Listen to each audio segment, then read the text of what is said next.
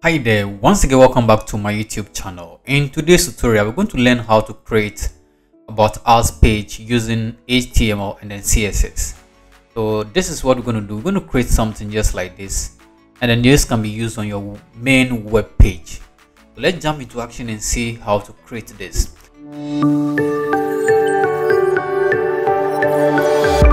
Now I'm using my favorite code editor. I'm using the VS Code editor and this is my css file and then this is my html file as well. I'm going to walk you through how to do this. Now what i'm going to do is that i have these files well organized on my desktop. This is what i use for my example and then i'm going to start a new project. And then in this folder i only have what's my image. I'm going to use this image for this project. Okay.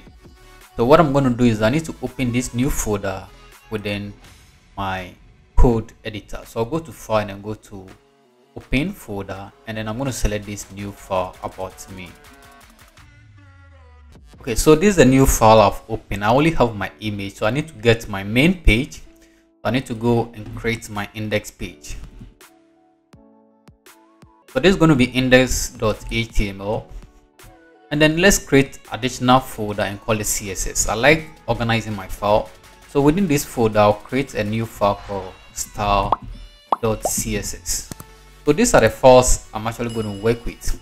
So go to our html page and then let me zoom in on this a bit so that you see exactly what i'm doing. Okay so we're going to generate the html template like this and then let me just give a title to this project. Let's just call it about me. Okay so this is just going to be the title. And then let's try and then open this in the browser whilst we work on this so i'm going to just click on this. Remember this is the final project and then this is what we are doing. We've not yet started anything. So let's jump into action and see this new project. This is about us but i'm going to do this about me. So i'll go ahead. Once this is generated i'm going to create a section for about me. So that's what i'm going to do. So let me say section dot let's say about. So that's what i'm going to do. And hit the tab key so within this section i'm going to create my main project. So i'll create a div dot let's say main. And then within this div i'm going to organize my files into this. So the first file i'm going to enter here is going to be my image. Remember we have this in image slash what? About so i have two image within that and i'm going to use the adjotech.jpg and i'm actually not going to add any alternative here and then let me save this and then let's try reload doing this in our browser. I'll go to the browser and then reload this. And at the moment we have just the image. We've embedded the image just as we have over here. We're going to use css to format everything. So let's continue with our project. Now after the image what we're going to do is that we're going to create another div and call it our main text. So let's say div dot what main dash let's say text. Okay so let's do something like this and then there's going to be our text. And within our text we're going to have a main header that's h1 header. So let's say about me. And then below that we'll have under let's say h5 header over there. And let's say web developer. Let's say and graphic designer. Okay so let's do something like this and then go ahead and then save this. Go back and then reload this in our browser. But now it's going to be down here. Let's proceed from here. We'll do formatting to this using css so now we're going to generate our paragraph text. So p generate our paragraph text. And i just want to generate some random text for this project. Remember to subscribe and don't forget to turn on post notifications so you don't miss any of my upcoming video tutorials I'm going to generate some lorem text. So I want to generate about 50 or let me say 60. So just hit the tab and it's going to give you some sample text like this. Let me just break this but have it well visible within my screen. So something like this is okay. Now below this, below the paragraph, we're going to add a button to that. Okay, below this paragraph, let's add a button here so within this button let's say read more. Okay so that is it. We are done with the html part of this project. So let's go back and then just reload this in our browser. At the moment we have this down here. We have not done any css so this may not look nice at the moment but we're going to start formatting this and this is going to look amazing. So let's go and start writing our css before this css is going to work we need to link our css file within the header. So go down here and say link and then let's say css and then we have this in the css folder. So make sure you place this within your css folder like this. There we go. So now we have our css and then we can start writing our css code. So what i'm going to do is to first select everything within my browser and then let me say i'll set my padding to zero I'll set my padding to zero, my margin to zero as well.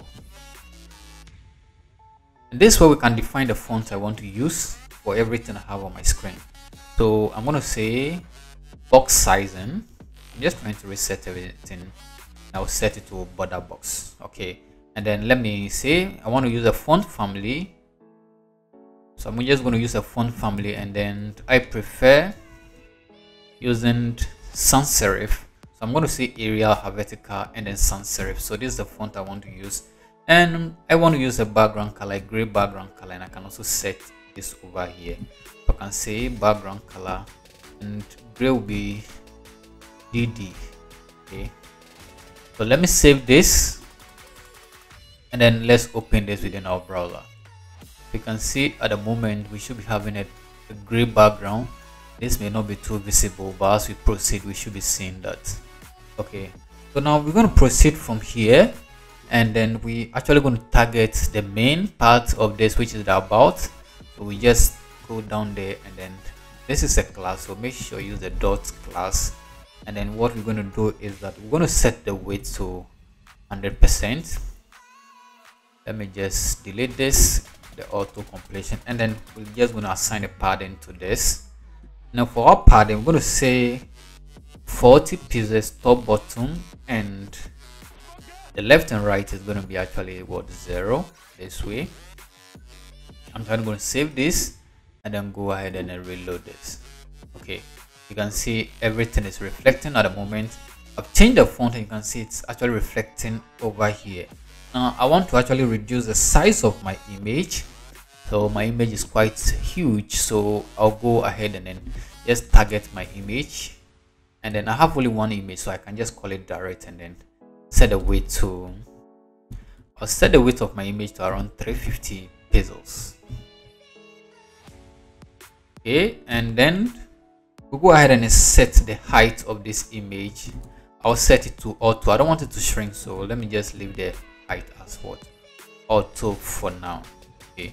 And what I'm going to do is I want to set the radius. If you check my final project over here you can see the edges of this image is rounded. So that is what i want to do today. So i need to set a radius. I'm going to say border radius. Let me say 35 pixels. I'm going to set 35 pixels for this and then let's save this and then reload this in our browser. Okay so you can see how this image is looking at the moment. Everything is on point. Let's continue formatting this and this should be taking a shape. And this will actually take shape very soon. Now we formatted so we are done formatting the image. Now let's target the about us text. So we're going to target this section. We're going to target this section. Before that we can also target the main text then work on that. Okay we can target the main text. Once we are done then we target the about about our text okay? But let's format the main text first and then we go to the about our text and then we format that. So we're going to target the main over here. This is the main text. So what i'm going to do is that i'm going to say it's a class so make sure we target that.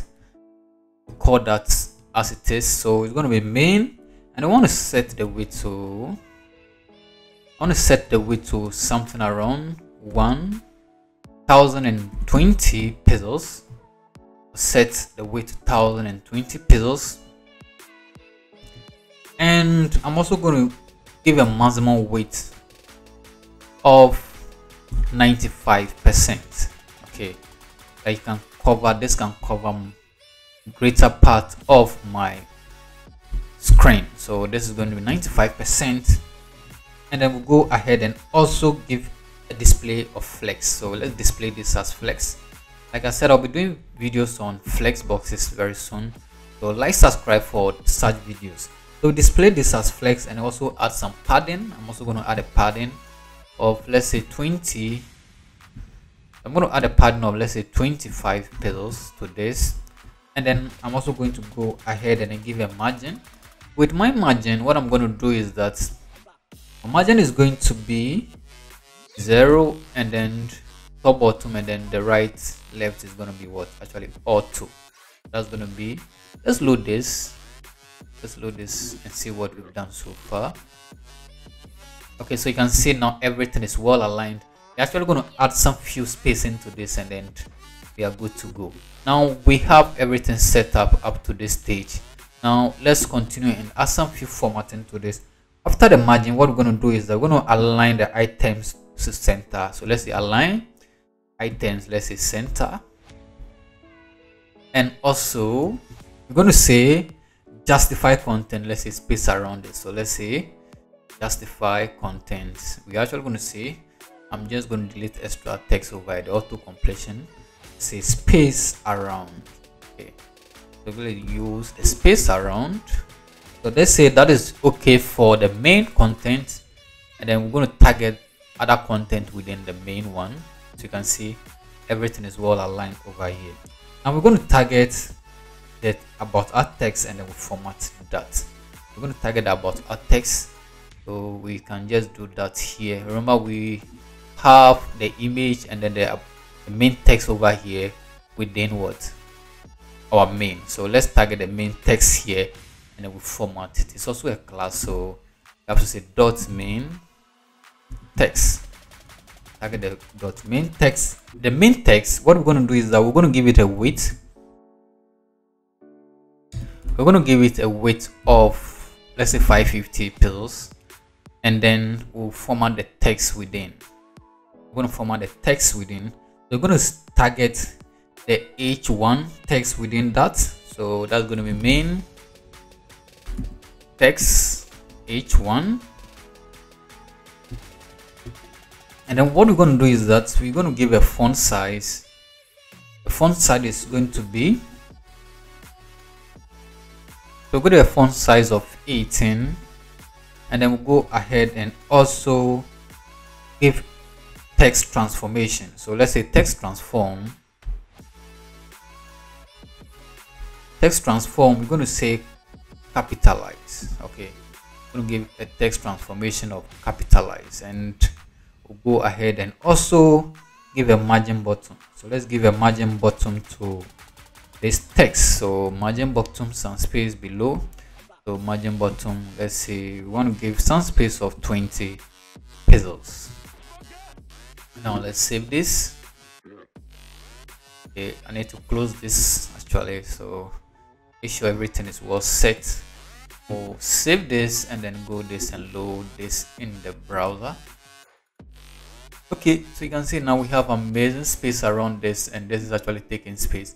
We're going to format everything. So like subscribe for more and then follow the steps i'm really going to show you. Now after the main text each one let's also target the main text. So we can actually copy the same thing over here actually copy the same thing and paste it down.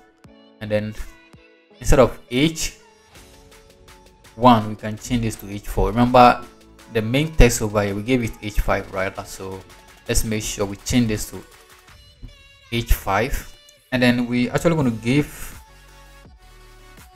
a font size of let's say 30 font size of let's say 30 so I'm actually going to get font size of 30 this is quite small so i want my text to be very big. So let me put this one at 60 and then let me save this.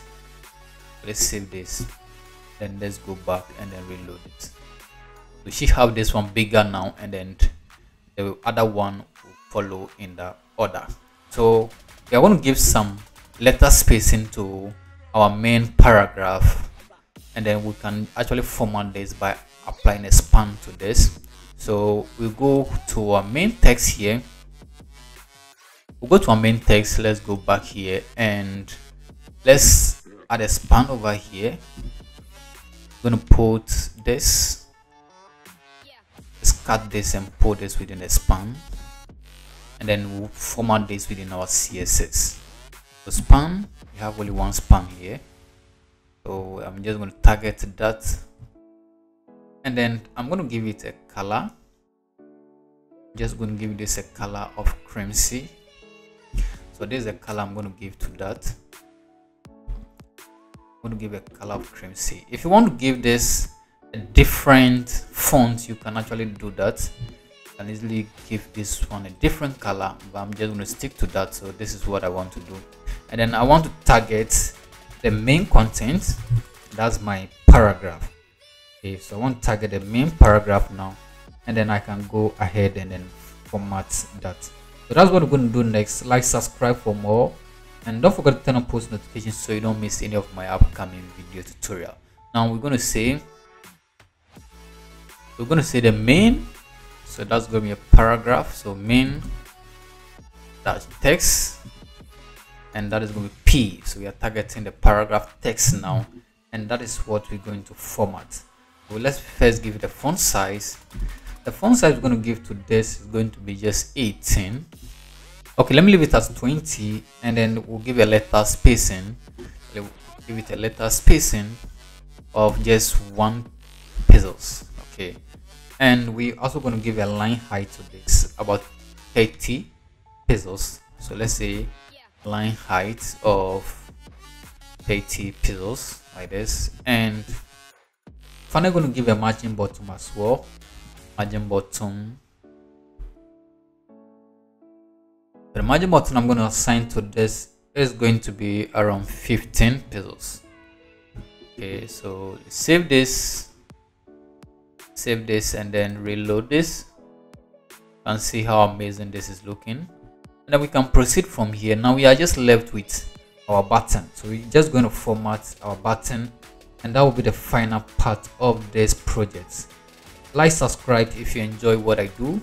Turn on post notification and also comment at the comment section of this video tutorial. Before that if you look at the final video i just put a line just below my h5 header. So if you want to do that you can equally do that here. You can easily go to your main this and then just put hr over here. That's horizontal rule. So if i do this and actually do this. It should be okay so if i save this and i go back to reload this i should be seeing the line just below this. Now finally let's format the button down here. We're going to format our button. Our button is not a class so we just call it straight. So there's going to be button. For this button sorry. This is just going to be button. And for our button we're going to say text decoration we're actually going to set text decoration to none first and i'm actually going to give a font weight i want the font to be very bold. So i'm going to say font weight sorry i say font weight and I'm going to say bold. This should be bold. And I'm actually also going to give a background color. I'm going to give a background color of this background color. I'm going to use the same crimson for this. And we're also going to give padding so padding will be the best for this.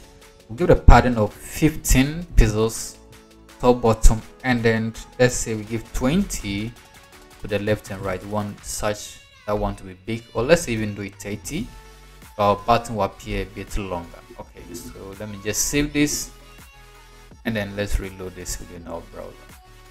So you can see how amazing this is looking at the moment. Now what i'm going to do next is to go ahead and format this add more adjustment to this. So i'm also give a border radius. So border radius and this border radius i'm actually going to give 15 and i don't want a border it so it's going to be border should be none. So the dark border we have around this the black line we have around this we'll remove it and see we don't have this. Okay so i'm going to i'm actually going to add a transition to this. But before that before the transition i'm going to give a cursor. Anytime i move my cursor there it should be showing as what? Pointed. So cursor pointed. And we also add some few transition to this. Transition of two seconds. So transition i'm going to say transition two seconds to this. And let's see how this is going to look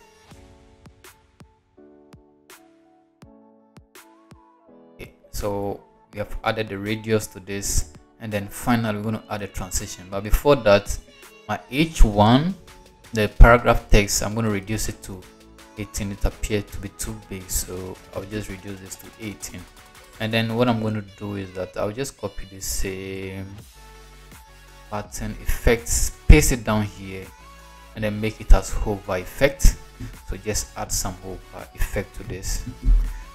Add some hover effect and now with this hover i'm actually not going to use the same crimson i'm actually going to format this color a bit. And some other features i'll remove it. I don't want the transition here. Every other thing i want to leave them as they are at the moment. Save this and then we'll go back and then reload this. And then you can see once i move my cursor you can see the transition for the button. Even after the transition the hover effect we can decide to add the border none here we can decide to remove it after the transition so i'm going to save this and reload this if i move this and see the transition went through successfully so this is how to create to create an about us page using HTML and CSS. I'll be doing more programming, development, and other amazing coding techniques right here on this channel.